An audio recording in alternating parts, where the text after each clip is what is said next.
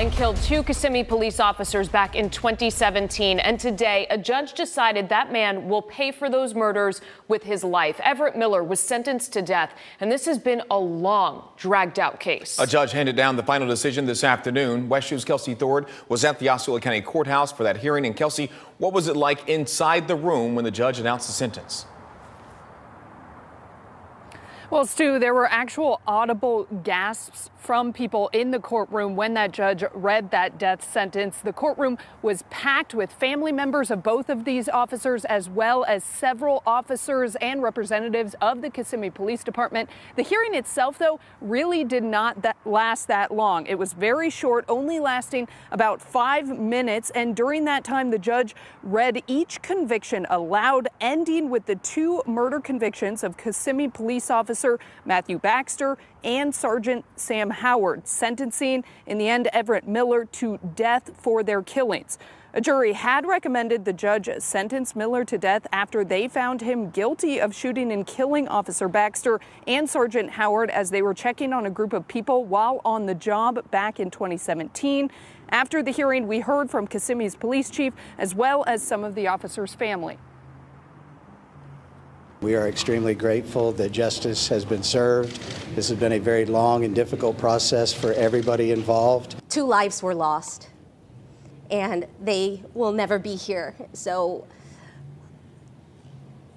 I'm just so grateful for all of those who dedicated their heart, their hearts into this case.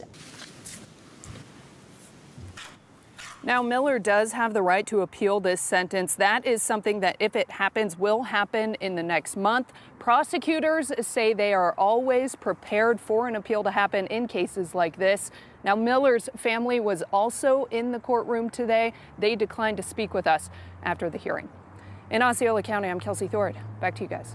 Kelsey, thank you. This case happened all the way back in 2017, and we want to give you a quick recap. This is the first picture released of Miller.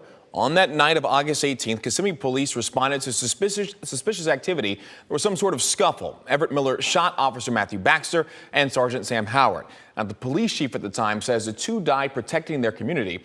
27 year old Baxter was married to a detective, his youngest child just seven months old at the time.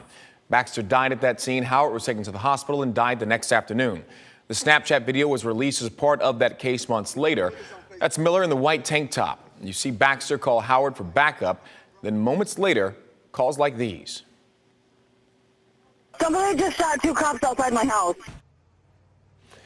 Officers told investigators they tried to save their fellow officers' lives at that scene. Miller was arrested later that night inside of a bar. Then Florida Governor Rick Scott reassigned the case from State Attorney Aramis Ayala to State Attorney Brad King because Ayala announced that she would not seek the death penalty in a similar case. Miller's trial didn't start until August of 2019. He was found guilty in September, and it took the jury less than an hour to return the guilty verdict. The death recommendation came down a little over a month later. Fast forward hearings and competency hearings, and in 2020, the pandemic delayed the case. And that leads us to today, where it's formally sentencing Miller to the death penalty. It took the judge six months to make that decision. Miller and his legal team still have time to appeal. We have been following this case since the very beginning. You can read more about it online right now inside of WESH.com.